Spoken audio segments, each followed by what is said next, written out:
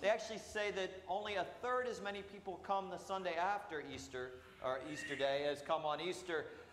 And our lilies have, have already been clipped.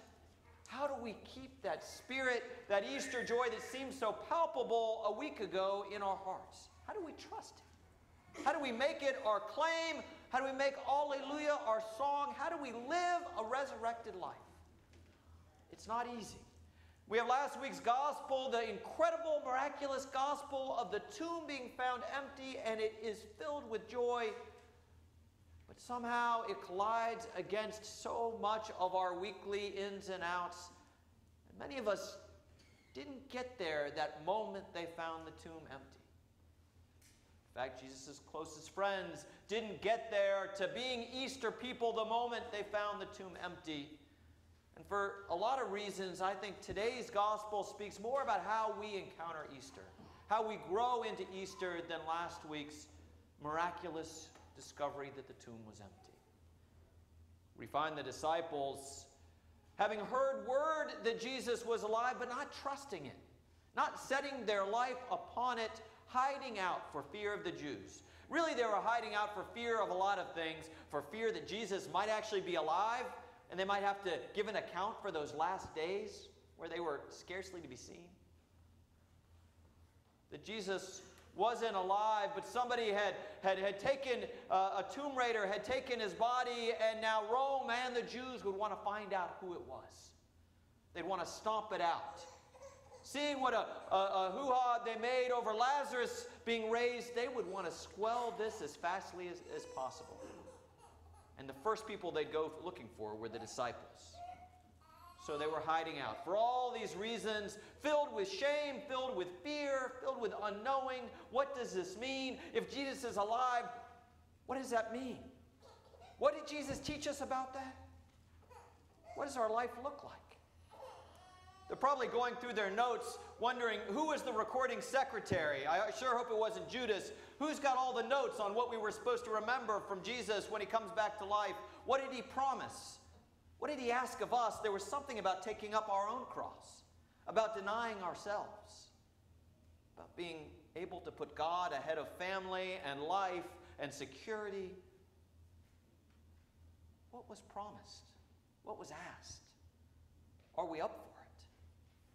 Trembling behind those locked doors. And then Jesus appears to them. And don't picture Jesus as this placid uh, spiritual being, but picture the Jesus that looked when he was nailed to the cross, looked for his closest friends, saw the women who had traveled with him, the women who had who'd given him, uh, him life, the women who had, had been there, uh, but saw very few of the, of the disciples, his closest friends. The Jesus that wanted them to stay awake during his darkest hour, that wanted to look out and see eyes that met love with love instead of love with fear and anger. Picture that Jesus that had to work towards those first words that he offered to his disciples Peace. Peace I give to you. Peace be with you. Peace be with you. Reconciling peace Peace that is the absolute opposite thing of what's roaring in your heart and in your inside gut today. The opposite of that, I give you peace. Not an easy peace, not a peace that comes easily from my lips, but a peace that's given out of love, a reconciling and forgiving peace. The first thing he says to them, Peace be with you. And they begin to trust. They begin to realize that they are redeemed that they are loved beyond anything that they can do to break that love, and that that love is more powerful than even the grave. And they walk out from that room as God has breathed the Holy Spirit upon them, ready for ministry. And you know, the first task that they've been given, the first gift they've been given, the thing that is most godly, it's not the power to walk on water, not even the power to turn uh, fish and bread into, uh, into plenty, or water into wine, or to heal. It's the gift to forgive. Remember, that's what gets Jesus in, in, in trouble early on. Uh, he even thinks that he can forgive sins. Only God can do that. They understood back then that forgiveness is what binds us and unbinds us as much as just about anything. Our sense of unworthiness, our sense of guilt, our sense of, of, of having messed up and, and, and not being able to start over. He breathes God's Spirit on them, and as they breathe it in, He gives them the power to forgive. And in that, the feeling of what it is to be forgiven. So that's the first thing. Then they go out and they share the good news with Thomas, who wasn't in there. And Thomas is one of the boldest disciples. And he always gets a bum rap on this day, Doubting Thomas Sunday, Low Sunday. But he's bold and he's brave. And he's the one who said, Let's go to Bethany even if it means dying, and let me die right there with you, Jesus. And he wasn't locked up. But the fact that Jesus might be alive, the truth that this might be true, was going to change Thomas's life. It was going to change every footstep from that moment on and what he did with his life, and he needed to be sure. Not that he didn't trust the ten but when you're going to give your life over to something, when you're going to be so transformed by a truth, you need to know deep down in your gut that it's real. So we wanted to see. It's not far from the rest of us. If we're going to give our lives over to something, if we're going to be transformed by something, we need to have an encounter that transforms us. We can, we can coast in someone else's shadow, somebody who has a faith that seems big enough for both of us, but at some point, we need to own it ourselves. And that's what Thomas begged for. The same thing the disciples got. And Thomas says, Until I see the wounds myself, I can't believe, I can't trust, I can't give this as my entire foundation. And so Jesus appears to him. And he sees the hands, the hands that washed his feet, the hands that fed him the bread of life, the hands that touched him hands he watched transform lives, give people hope, remind people that they were a beloved child of God when no one else would remind them. Hands that touched broken hearts and broken places and broken limbs and broken spirits.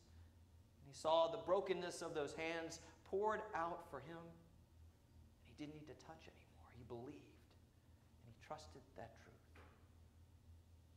And I don't think Jesus is criticizing or condemning him. I think Jesus is inviting the rest of us in. He says, How blessed are all of you who don't have this experience, who know me through this powerful story and all the stories like it, who know me through prayer, who know me through that feeling in your heart that there has got to be a God who loves me and has redeemed me and given his life over for me. That's how blessed are those people who trust, who make this their foundation without any assurances.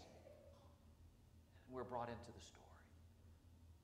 But I do think Thomas reveals another truth that in our desire to seek understanding, in our desire to touch God's wounds, in our desire to know God, there is more faith in honest doubt than in half the creeds. Tennyson says, says that. And I think there's a truth there. One of the great things is we get ready to baptize Lily, we pray for her to be a doubting Thomas. We pray for her to have that desire to seek deeper understanding.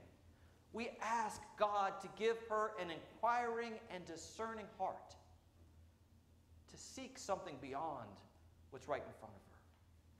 Because when we get there, we can make it our foundation. We can step towards transformation. We can walk out of here and unbind the sins of others and truly forgive because we know deep in our hearts that we've been forgiven, that we've been loved.